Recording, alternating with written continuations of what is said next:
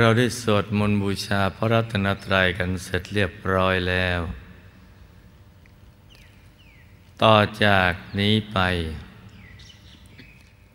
ให้ตั้งใจให้แน่แน่ว มุ่งตรงตนทางพระนิพพานกัน ทุกทุกคนนะลูกนะ ให้นั่งขัดสมาธิ ดอขาขวา ทับขาซ้าย มือขวา ทับมือซ้าย ให้นิ้วชี้ข้างมือข้างขวาจะดัดนิ้วหัวแม่มือข้างซ้าย วางไว้บนหน้าตัก พอสบายสบาย หลับตาของเราเบาๆ หลับตาคลอดลูก พอสบายสบายคล้ายๆกับตอนที่ เราใกล้จะหลับ อย่าไปบีบเปลือกตา อย่ากดลูกในตานะจ๊ะ แล้วก็ทำใจของเราให้เบิกบาน ให้แจ่มชื่น ให้สะอาดบริสุทธิ์ผ่องใส ไร้กังวลทุกสิ่ง ไม่ว่าจะเป็นเรื่องอะไรก็ตาม ให้ปลดให้ปล่อยให้วาง ทำใจให้ว่างๆ แล้วก็มาสมมุติว่า ภายในร่างกายของเรานั้นนะปราศจากอวัยวะ สมมติว่าไม่มีปอดตับม้ามไตหัวใจเป็นต้น ให้เป็นที่โล่งๆว่างๆ เป็นปล่องเป็นช่องเป็นโพรง เป็นที่โล่งๆว่างๆ กลวงภายในคล้ายๆท่อแก้ว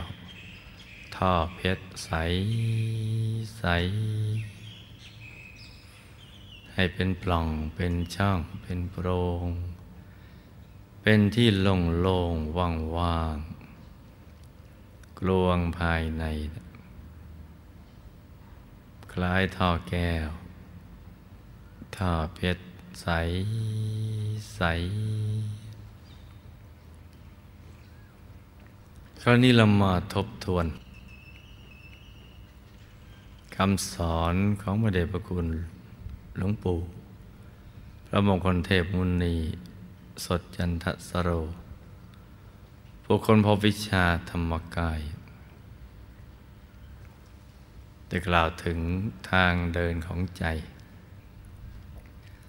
ซึ่งเป็นทางไปเกิดมาเกิดของสัตว์โลกทั้งหลายว่ามีทั้งหมดเจ็ดฐาน แต่ละฐานนั้นมีความสำคัญทุกฐานแหละ โดยเฉพาะฐานที่เจ็ดสำคัญมาก ฐานที่หนึ่งอยู่ที่ปากช่องจมูก ท่านหญิงอยู่ข้างซ้าย ท่านชายอยู่ข้างขวา ฐานที่สองอยู่ที่ เปล่าตา หรือตรงหัวตาที่น้ำตาไหล ท่านหญิงอยู่ข้างซ้าย ท่านชายอยู่ข้างขวา ฐานที่สามอยู่ที่กลางกักศีรษะ ในระดับเดียวกับหัวตาของเรา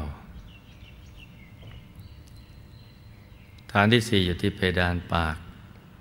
ช่องปากที่อาหารสำลัก ฐานที่ห้าอยู่ที่ปากช่องคอ เหนือลูกกระเดือก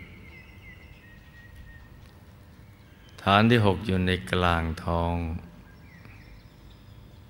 ระดับเดียวกับสะดือของเรา โดยสมมุติว่าเราหยิบเส้นได้ขึ้นมาสองเส้น นำมาขึงให้ตึง จากสะดือทะลุไปด้านหลังเส้นหนึ่ง จากด้านขวาทะลุไปด้านซ้ายอีกเส้นหนึ่ง ให้เส้นได้ทั้งสอง ตัดกันเป็นกากบาท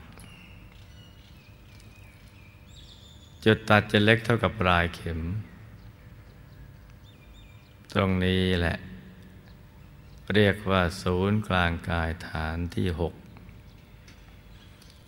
ซึ่งเป็นที่ตั้งของดวงธรรมที่ทำให้เป็นกายมนุษย์หยาบ ใสบริสุทธิ์ โตตะกับฟองไข่แดงของไก่ธรรมดวงนี้ จะทรงรักษากายมนุษย์หยาบเอาไว้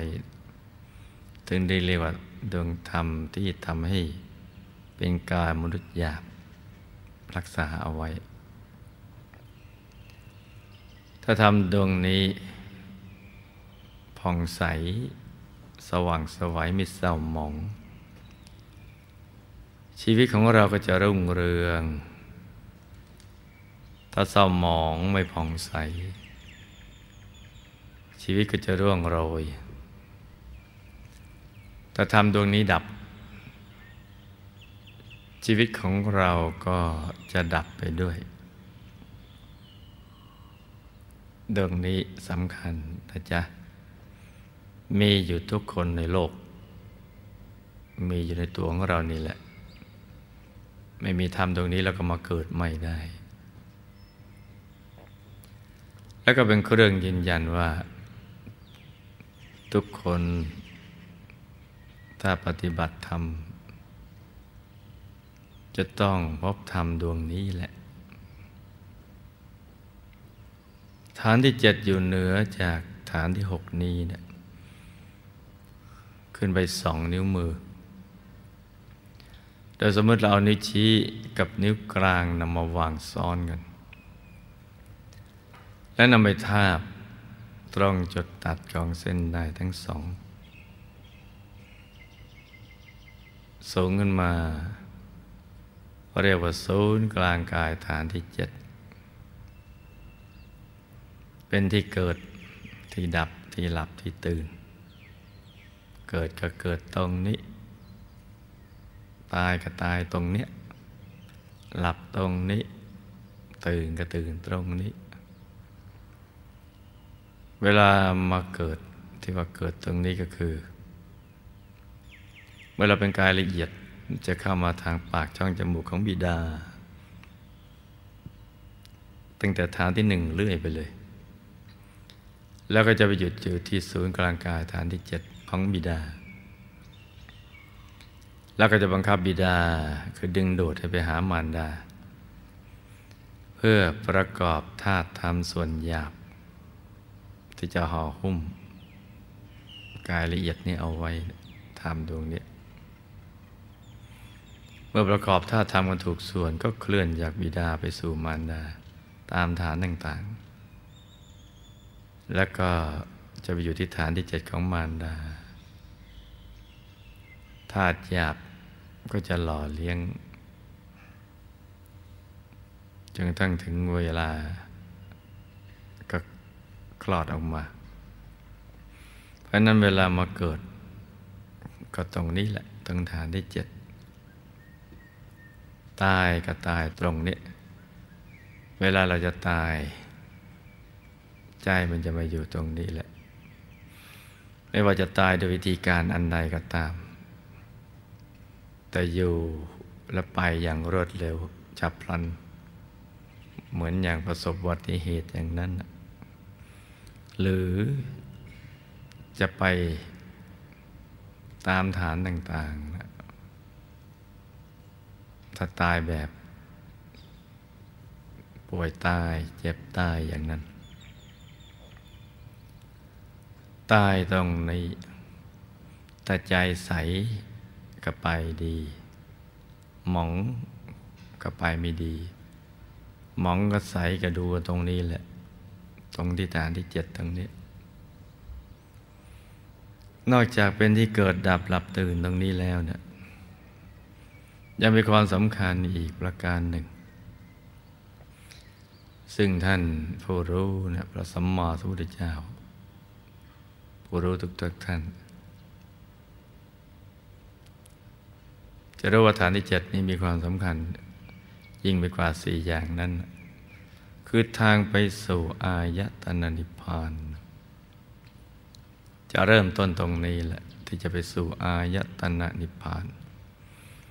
ที่ว่าเกิดมาทำพระนิพพานให้แจ้ง หรือบวชเพื่อทำพระนิพพานให้แจ้ง จะต้องมาเริ่มต้นกับตรงนี้แหละ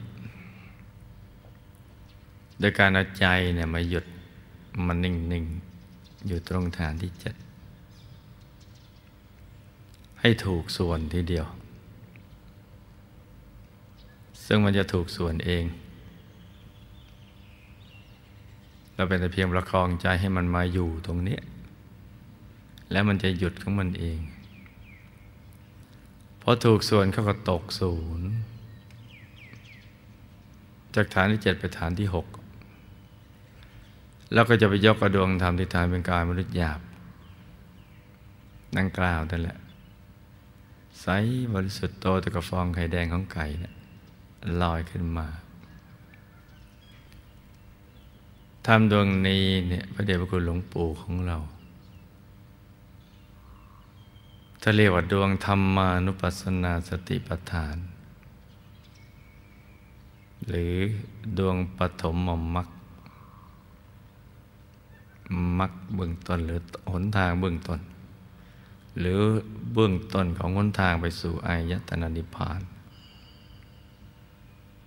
เรียกว่าปฐมมรรค แต่ขนาดของปฐมมรรคตรงนี้เนี่ย จะมีขนาดแตกต่างกันไปตามกำลังบารมี ตั้งแต่เล็กเหมือนดวงดาวในอากาศ เหมือนพระจันทร์ในคืนวันเพ็ญบ้าง พระอาทิตย์ยามเที่ยงวันบ้าง หรือใหญ่กว่านั้น มันก็เป็นไปตามกำลังบารมี แต่ถ้าบังเกิดขึ้นตรงนี้ก็ เป็นอันว่ามั่นใจว่าเราไปสู่นิพพานได้ ถ้าปฏิบัติแล้วไม่ได้ถึงตรงนี้ไม่เห็นดวงใสทำดวงแรกนี้ ไปนิพพานไม่ได้ เพราะทำดวงนี้จะทำให้ เราดำเนินอะไรตามสติปัฏฐานสี่ได้ ตามเห็นกายในกายเข้าไปได้ เวทนาเวทนาในเวทนาได้ จิตในจิตได้ธรรมในธรรมได้ กายเวทนาจิตธรรมที่ตามเห็นเข้าไปเนี่ยกายในกายกายในกายกายในกาย ซึ่งมีทั้งหมด 18 กาย นับรวมทั้งกายมนุษย์หยาบนี่จะต้องเริ่มจากตรงนี้ถึงจะเข้าไปถึง เริ่มต้นจากปากประตูนี่แหละเข้าไป ปากทาง ถึงจะไปถึงกายในกาย มีกายมนุษย์ละเอียด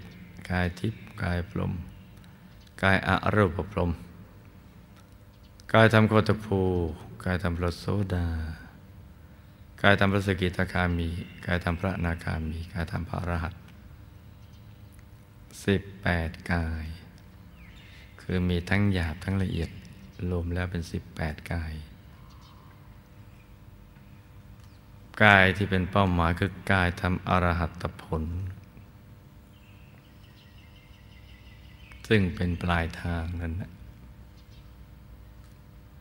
นั่นคือกายเป้าหมายจะต้องเริ่มต้นจากที่ทำดวงเนี้ยดวงใส ๆ เราจะปฏิบัติแบบไหนก็ตาม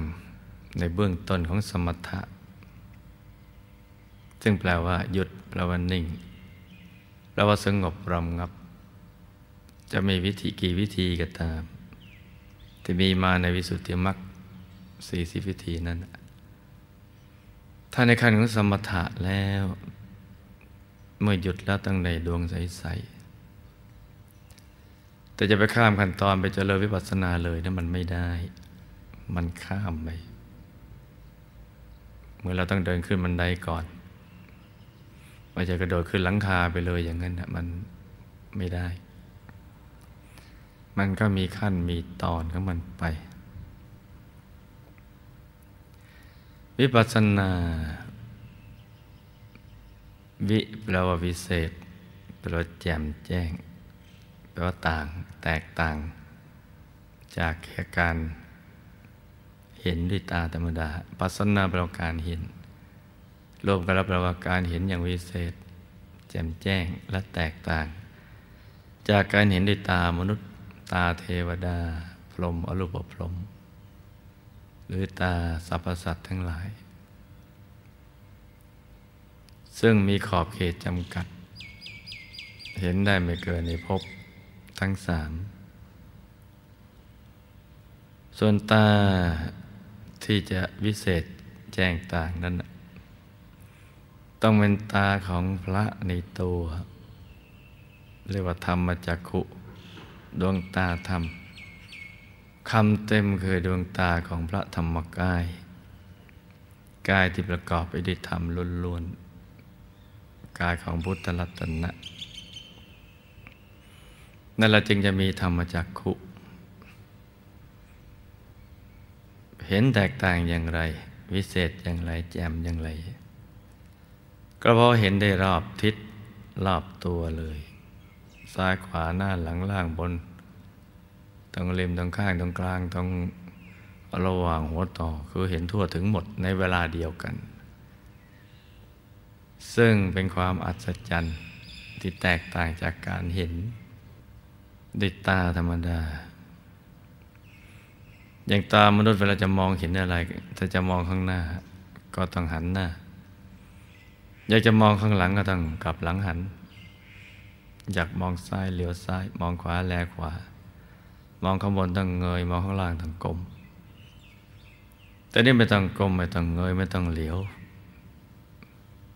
ไม่ต้องกลับหลังหันอยู่ตัวที่เดิมเลยแหละ แต่เห็นได้หลับและยังเห็นทั้งอดีต ทั้งปัจจุบันและในอนาคตได้ แล้วก็เห็นไปตามความเป็นจริงด้วย ถูกต้องด้วย แจ่มด้วย เห็นอย่างนี้แหละจึงจะเรียกว่าเห็นอย่างวิเศษ แจ่มแจ้ง แล้วก็แตกต่างจากเห็นเห็นทั่วไป เขาถึงใช้คำว่าวิปัสสนาเพราะฉะนั้นเนี่ยเราจะเจริญวิปัสสนาโดย ไม่ผ่านสมถะนั่นแหละเป็นไปไม่ได้ แต่ที่มีปรากฏในพระไตรปิฎกว่าเจริญวิปัสสนานั้นหมายถึงเขาเว้นข้ามสมถะไป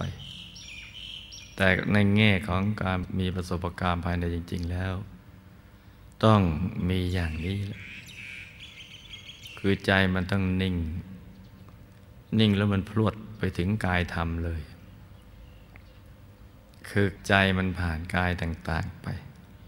กายมนุษย์เทวดาทิพพรมรูปพรมถึงกายธรรมพอพลวดไปถึงแล้วเนี่ยนะจึงเห็น เห็นแจ้งแล้วจึงรู้แจ้ง เป็นความรู้แจ้งที่ไม่ได้เกิดจากการคิด เป็นความรู้แจ้งที่เกิดจากการเห็น ความรอบรู้อันนี้เขาเรียกว่าภาวนามยปัญญา เลยจินตมยปัญญาไป เพราะนั้นกายที่สำคัญ ที่จะทำให้เราไปถึงอายตนะนิพพานได้คือกายธรรม กายธรรมหรือกายพุทธรัตนะ รัตนะแปลว่าแก้ว เป็นรัตนะ หินมีค่าใส ๆ คล้ายเพชรนินยินดาอย่างนั้นแหละ แต่ว่ามันใสเกินใส กว่าความใสของเพชรหรือความใสใด ๆ ในโลก เป็นความใสที่เนียนตาละมุนใจ ที่มีคุณค่า เหนือกว่ารัตนะใด ๆ ในโลกมนุษย์ในทิพย์ในพรมในอรูปพรมหรือในภพทั้งสาม ราะเป็นรัตนะที่พ้นจากภพไปแล้ว ต้องถึงตรงนี้จึงจะไปนิพพานได้ เราจะพบว่าจากคำสั่งสอนของพระเดชพระคุณหลวงปู่ที่ท่านค้นคว้าไปในตัวพระไตรปิฎกในตัว ซึ่งไปตรง กับพระไตรปิฎกในตู้ที่พระสัมมาสัมพุทธเจ้าท่านตรัสเอาไว้นะว่าพระโสดาบาลพระสกิทาคามีพระอนาคามีพระอรหันต์นั่นนะมันก็อยู่ในตัวของเราเนี่ย แต่ว่ามันเป็นของละเอียดกายที่ละเอียด ที่ซ่อนอยู่ในกลางกายหยาบมันซ่อนกันไปอยู่ เพราะนั้นการที่เราจะไปหาพระโสดาบันพระสิกิตาคามีพระนาคามีพระอรหันต์มันต้องเข้าไปหาในตัวของเรา ต้องเข้าหาในตัวของเรา แล้วถอดกายออกเป็นชั้น ๆ ตามเห็นเข้าไปเรื่อยๆเห็นกายในกาย ในกายนั้นก็จะมีเวทนา มีจิตมีธรรม เป็นส่วนๆทำหน้าที่คนละอย่าง แต่รวมอยู่ในอันเดียวกัน เหมือนกล่องบรรจุภัณฑ์เป็นที่รวมของสิ่งต่าง ๆ เหล่านั้น แล้วก็ทำหน้าที่การไปคนละทาง กายก็ทำหน้าที่อย่างหนึ่งเวทนา เวทนาไม่ได้แปลว่าน่าสงสารนะแปลว่าการสวยอารมณ์สุขทุกข์ไม่สุขไม่ทุกข์ แต่ยิ่งกายละเอียดเข้าไปมีแต่อารมณ์สุขที่เพิ่มขึ้นไปเรื่อยๆ มีจิตในจิตนะทำหน้าที่คิด มีธรรมในธรรมรองรับเอาไว้รักษาเอาไว้ ทรงรักษาเอาไว้ เป็นชั้นๆเข้าไปอย่างนี้ตามเห็นเข้าไปเรื่อยๆ เพราะฉะนั้นเนี่ยเบื้องต้นที่สำคัญก็คือ จะต้องฝึกใจเนี่ยให้มันหยุดให้มันนิ่ง หยุดนั่นแหละจึงเป็นตัวสำเร็จ ไม่หยุดเป็นตัวไม่สำเร็จ มันตรงกันข้ามกันอย่างนี้ มันต้องหยุดกันอย่างเดียว หยุดนี่ หมายถึงเอาใจที่แวบไปแวบมา คิดเป็นในเรื่องราวต่าง ๆนั่นแหละเอามาหยุด มันนิ่งอยู่ที่ศูนย์กลางกายฐานที่เจ็ดแล้วให้มันมาอยู่ซะก่อนพระใจได้เตลิดเปิดเปลิงออกจาก ที่ตั้งดั้งเดิมจะไปนาน ไปทางตาทางหูทางจมูกทางลิ้นทางกายทางใจ ไปติดในรูปในเสียงในกลิ่นในรสสัมผัสธรรมลมในรูปที่เราได้เห็นคนสัตว์สิ่งของเป็นต้น เสียงที่เราได้ยิน กลิ่นต่างๆลดหลากหลาย สัมผัสที่นุ่มนวลอ่อนแข็งเย็นร้อนเป็นต้น ใจก็คิดไปในเรื่องราวต่าง ๆ มันตะเลิดกันไปอย่างนั้น เราจึงไม่พบสุขที่แท้จริง แม้พยายามแม้ปรารถนาอยากจะเจอ อยากจะเจอความสุขที่แท้จริง แต่เราไม่รู้เลยว่าความสุขที่แท้จริงมันมีลักษณะเป็นอย่างไร จะเริ่มต้นที่ตรงไหนโดยวิธีการใด จึงไม่เจอ และยิ่งถูกดึงออกไป ใจถูกดึงออกไปติดในเรื่องราวดังกล่าว รูปเสียงกิรสสมบัติธรรมรม ซึ่งเขามีวิธีการหลากหลายที่ทำให้เราเข้าใจผิด ว่านั่นคือความสุข นั่นคือสิ่งที่ดับความทุกข์แก้ความกลุ่มได้ แก้ความเครียดเซ็งเบื่อกลุ่มกันได้ แต่ความจริงนั้นมันไม่ใช่ แต่ถูกทำให้เข้าใจว่าใช่ ถูกหล่อหลอมมาต่างๆ ซึ่งมันมีฉากหลังอยู่ ที่ทำให้ เกิดความรู้สึกอย่างนั้น เป้าหมายชีวิตก็จะได้เบี่ยงเบนออกไป จากการที่จะทำพระนิพพานให้แจ้ง ก็ไปแสวงหาสิ่งที่ไม่เป็นสาระแก่นสาร จนหมดเวลาของชีวิต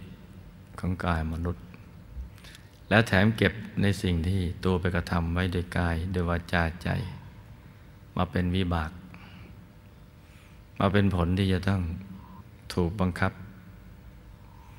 ให้เวียนว่ายแต่เกิด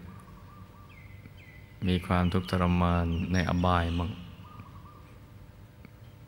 เป็นสัตว์ที่ได้ฉาเปรตอสุรกายสัตว์นรกบ้างมาเป็นมนุษย์หลากหลายทีเดียว ที่ลำบาก มีความทุกข์ ไม่ว่าจะเป็นชีวิตมนุษย์ระดับไหนก็ตาม จนชั้นล่างชั้นกลางชั้นสูง เขาก็บังคับกันไปอย่างนั้น เมื่อพระสัมมาสัมพุทธเจ้าท่านบังเกิดขึ้น ท่านก็มาค้นพบวิธีที่จะพ้นจากความทุกข์ทั้งหลายว่าหยุดนี่แหละเป็นตัวสำเร็จ สมณะหยุดแล้วส่งให้ในยะแก่ ท่านองคุลิมานที่กวด จะไปไล่ฆ่าพระองค์เพื่อจะตัดนิ้ว ให้ครบถ้วนตามตำรับตำราที่อาจารย์ของตัวบอกเอาไว้ว่าจะได้เรียนวิชาเจ้าโลกก็ว่าสมณะหยุดแล้ว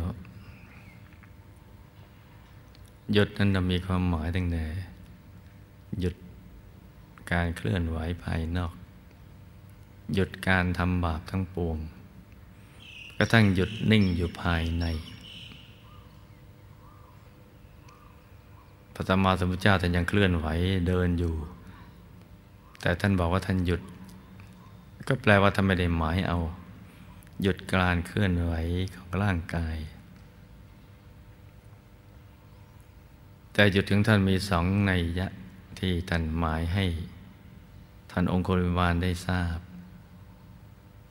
โดยดวงปัญญาที่กำลังบุญมาถึง คือหยุดการทำบาปทั้งปวง กับหยุดนิ่งโดยใจ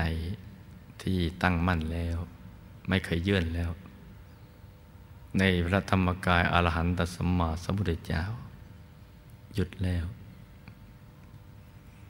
เพราะฉะนั้นหยุดเป็นตัวสำเร็จนี้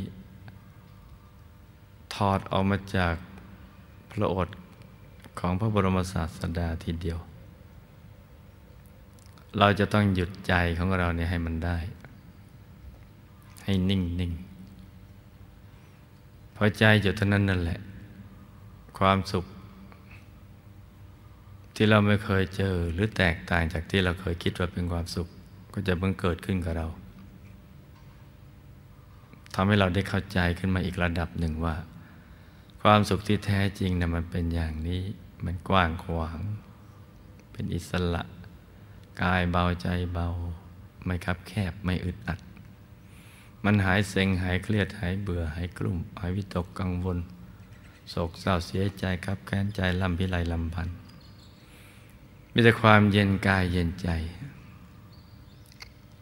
และหยุดแรกนี้แหละ จะนำกันไปถึงหยุดถัดๆกันไป คำว่าหยุดนี้นมาตรงกับคำว่า นิโรธะที่เราได้ยินในแปลว่า ดับทุกข์แต่ความหมายอีกในยะหนึ่งเราไม่ค่อยจะได้ยินกันคือครับแปลว่าหยุด นิโรธะนั่นแปลว่าหยุด หรือแปลว่าดับทุกข์คือหยุดแล้วเนี่ยทุกข์มันก็ดับไป เหมือนเขาเพลิงแต่เราถือมาทวนลม ลมพัดความร้อนมากระทบหน้าเรา พอถึงน้ำเราจุ่มลงไปในน้ำมันดับไป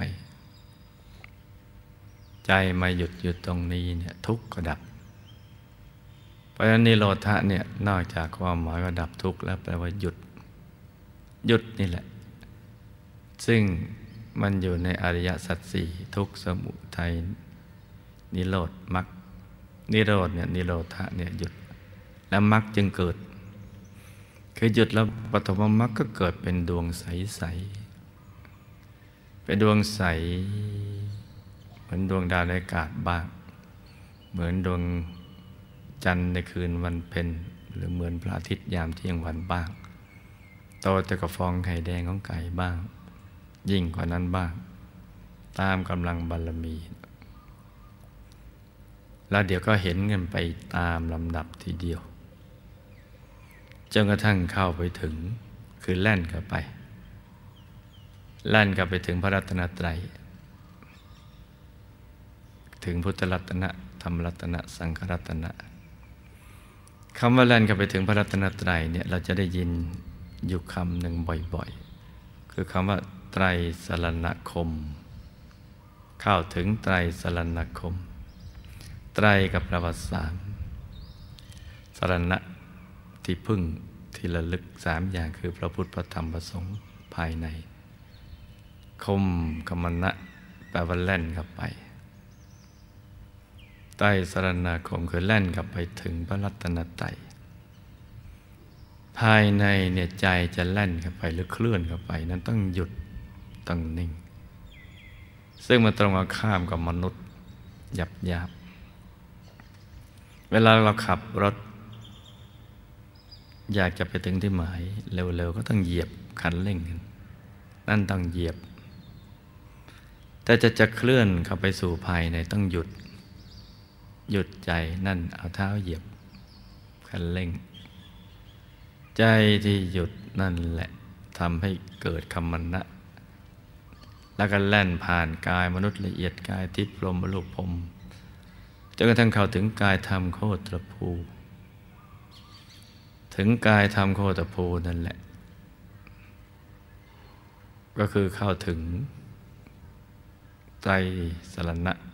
ถึงพระรัตนตรัยทั้งสามกายธรรมโคตภูหน้าตักย่อนกว่าห้าวา นิดหน่อยหน้าตักเท่ากับความสูง จะย่อนกว่าห้าวา ในพุทธรัตนะนั้นก็จะมีธรรมรัตนะ เป็นดวงใสๆ เป็นคลังแห่งความรู้อันบริสุทธิ์ เป็นความรู้ไปตามความเป็นจริงของสรรพสัตว์และสรรพสิ่งทั้งหลาย สังครัตนะก็คือธรรมกายละเอียด ที่อยู่ในกลางธรรมรัตนะจะทรงรักษาธรรมรัตนะเอาไว้สามอย่างนี้แหละคือที่พึ่งที่ระลึกที่แท้จริง ที่ใจหยุดแล้วจะแล่นกับไปเคลื่อนกับไป เมื่อถึงธรรมกายโคตภูนี้ได้ชื่อว่าเข้าถึงไตสรณะ มีไตสรณคม ไตสรณะเป็นที่พึ่ง ที่แท้จริง ที่เราได้ยินได้ฟังว่าเมื่อพระสัมมาสัมพุทธเจ้าท่านทรงแสดงธรรม โปรดพุทธบริษัทสี่ได้เข้าถึงไตสรณคมเท่านั้นจำนวนเท่านี้ เป็นปโสดาบันเท่านั้นเท่านี้ ระสกิทาคามีเท่านั้นเท่านี้ พระนาคามีเท่านั้นเท่านี้พระอรหันต์เท่านั้นเท่านี้เนี่ยก็คือเข้าไปถึงสรณะทั้งสามข้างในนี่แหละถ้าถึงขั้นโคตรภูบุคคลก็ได้ชื่อว่าไตรสรณคม มีพระรัตนตรัยเป็นที่พึ่งแล้ว เห็นชัดใสแจ่มทีเดียว ทั้งหลับตาและลืมตา จะนั่งนอนยืนเดินหกขเมนตีลังกายังไงก็ติดอยู่ตลอดเวลา หน้าตักย่อนก็ห้าว่าลงมาเลื่อยลงมาเลย เล็กไม่มีประมาณแต่โตไม่ถึงห้าว่า ถึงนั้นนี้ก็เรียกว่าโคตรภูบุคคล คือเกินความเป็นบุตรชน แต่ยังไม่ถึงความเป็นพระอริยเจ้า อยู่ในระหว่างกลางกลางตรงกลางกลางครึ่งทาง มาได้ครึ่งทาง ถ้าเข้าถึงกายธรรมประโสนาบัน หน้าตักห้าวาสูงห้าวา ละสังโยชน์ได้สามอย่าง ถ้าถึงกายธรรมสกิตกามี หน้าตักก็สิบวา สูงสิบวา ละสังโยชน์ได้เพิ่มขึ้น ถ้าถึงพระอนาคามีขนาดตักสิบห้าวาสูงสิบห้าวาละสังโยชน์ได้มากขึ้นไปอีก พอถึงกายทำอรหัตผลหน้าตักยี่สิบวาสูงยี่สิบวาละได้หมดเลยกิเลสอสวะลุดออกมาเลยลุดเหมือนลูกไก่เจาะกระเปาะไก่ออกมาเจาะออกมาแล้ว จะกลับเข้าไปอยู่ในกระเปาะไข่อีกไม่ได้แล้วออกมาเป็นตัวแล้ว นี่หลุดจากภพทั้งสามแล้ว เป็นพระอรหันต์แล้ว เห็นในตัวอย่างนี้แหละ พระสัมมาสัมพุทธเจ้าท่านสอน ทรงสอนพระปัญจวัคคีย์ก็สอนกันไปตามลำดับอย่างนี้ ให้รู้จักขนทางสายกลาง ทั้งภายนอกและภายใน ภายนอกกับปฏิบัติเป็นกลางกลางอย่าให้ตึงอย่าให้หย่อนเกินไป นทางสายกลางภายในเนี่ยก็ให้หยุดนิ่งเข้าไปเรื่อยๆ ในเส้นทางอริยมรรคทางของพระอริยเจ้า ซึ่งอยู่ตรงกลางเป็นทางเอกสายเดียว ไม่มีสองทาง แล้วก็จะเห็นไปตามลำดับ ท่านสอนไปด้วยท่านตรวจไปด้วย ตัวตาไปด้วย ปากก็พูดไป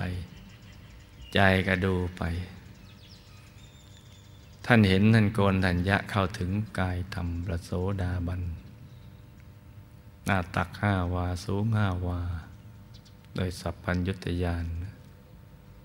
พอปากพูดไป ใจมองไปเรื่อยๆ พอมองไปเห็นว่าใจของพระ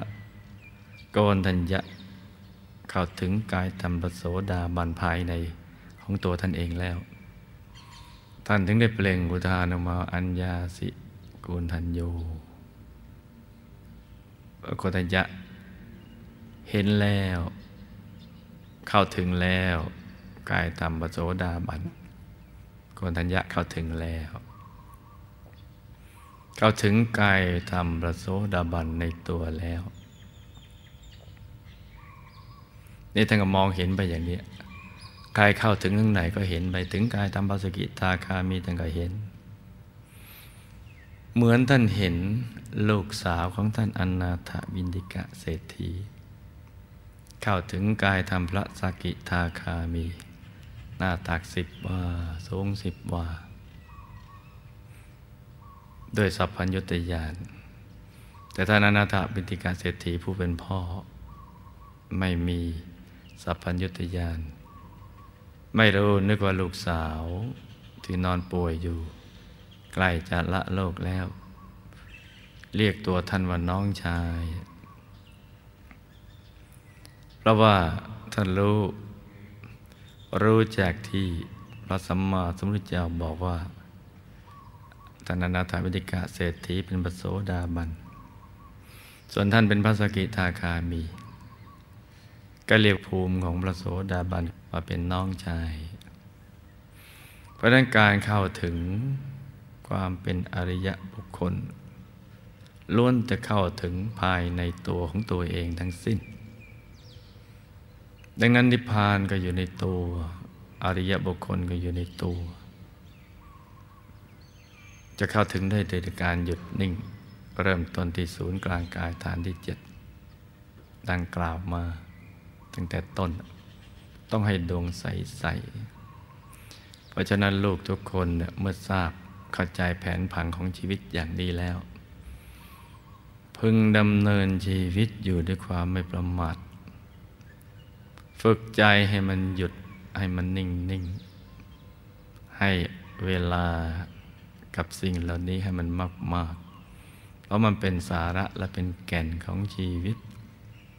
เป็นเป้าหมายของชีวิต ที่เราเกิดมาเป็นมนุษย์ ในแต่ละภพแต่ละชาติหยุดนี่เราเป็นตัวสำเร็จให้มันฝึกฝนอบรมใจของเราให้ดีนะจ๊ะ